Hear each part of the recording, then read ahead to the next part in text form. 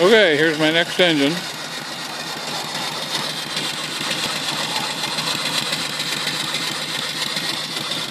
About 30 inches tall, 3 inch bore, 3 inch stroke, running an alternator. Some electricity there. Mainly used to charge up battery bank for off-grid.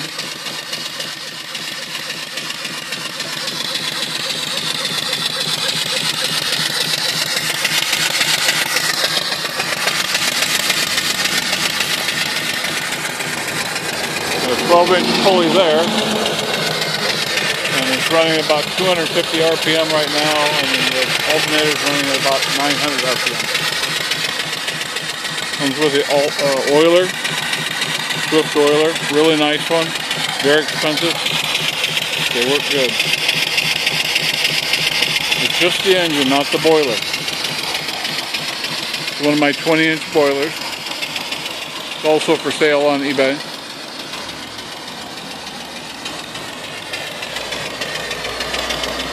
So I've built four of these engines now. These are just a forward moving engine, no reverse on them. They don't need it. Real nice running engine. Best one I've ever done.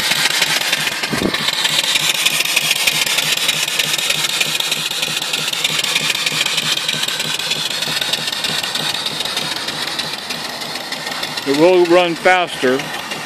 It's just that on my table it starts bouncing a little bit. You gotta be careful it doesn't knock up the battery off. That's about the right speed for it. Brand new engine.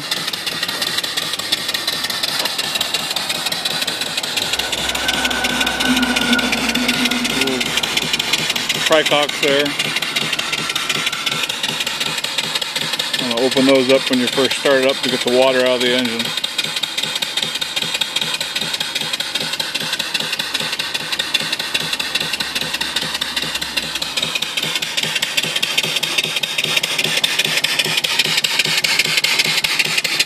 I made all the patterns for this engine and then I have them cast at a foundry.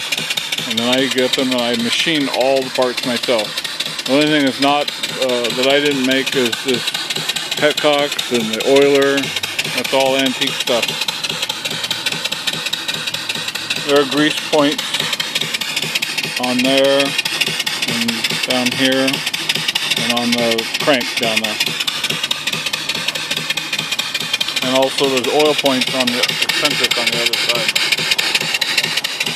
Real nice unit. The smoothest running engine I've ever built.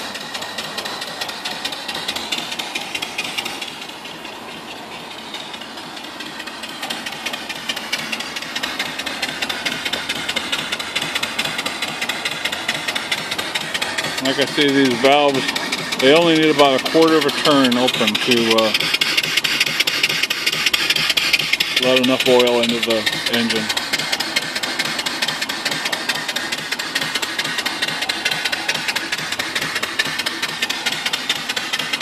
That's about it. I'll have it on eBay for sale.